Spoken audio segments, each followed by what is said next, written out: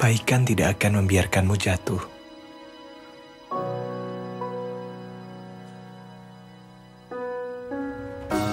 Karena berbuat baik akan mengganti ketakutan menjadi keberanian.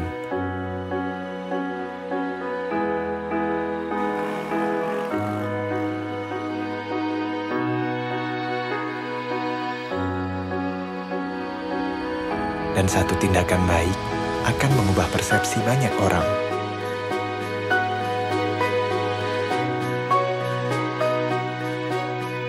Sampai menua, kebaikan itu tidak akan sia-sia. Meskipun dalam kekurangan, hanya kebaikan yang bisa kamu bagi.